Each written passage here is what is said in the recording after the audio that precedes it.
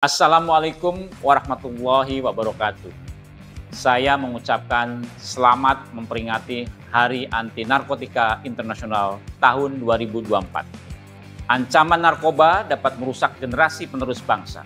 Untuk itu, dengan mengusung tema Masyarakat Bergerak bersama melawan narkoba mewujudkan Indonesia bersinar, menegaskan pentingnya peran masyarakat untuk mendukung pemerintah dalam melakukan pengawasan dan pencegahan penyalahgunaan narkoba. Mari kita bersinergi, berkolaborasi menuju Jawa Timur bebas narkoba.